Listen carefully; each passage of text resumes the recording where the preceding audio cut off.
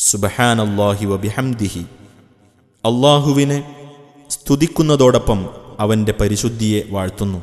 ഇത് നൂറ് പ്രാവശ്യം